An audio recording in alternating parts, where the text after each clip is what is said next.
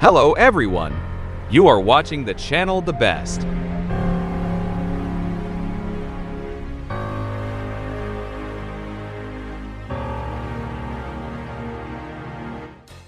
Turkey and Pakistan are teaming up to develop a sixth-generation stealth fighter in a bid to replace their aging US-made F-16 fleets. In a Pakistani TV interview this month, Turkish Aerospace Industries, TUSAS, CDO Temel Kotil announced the Turkish Fighter Experimental, TFX, will be a joint Turkish-Pakistan project.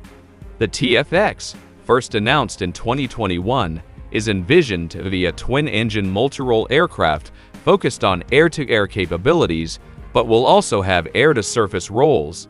It is also planned to use a mixture of US and Russian technologies, as Turkey license produces the US General Electric F-118 engine, and Russia can provide the necessary avionics, propulsion system, radar, sensors, ejection seat, and data link systems.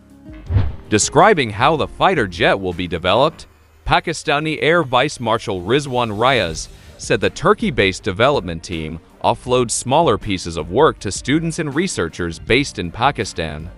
Project components are divided into smaller tasks, after which they are integrated.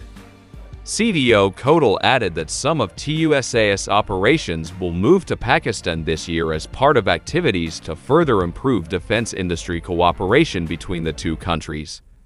Pakistan has its own indigenous sixth-generation fighter jet project under its ambitious Project AZM, which aims to establish an aviation industrial base in the country. It was formally announced in 2021 and aims to produce a fighter that can carry heavier payloads and boast a greater range than the JF-17.